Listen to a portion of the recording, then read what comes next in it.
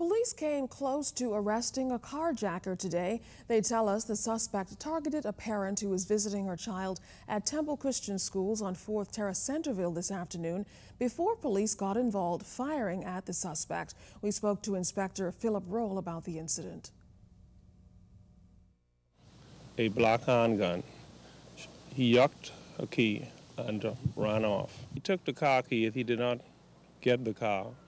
And um, an off-duty officer was in the area. Uh, he responded, and the chap ran away. A shot was fired. The officer fired a shot.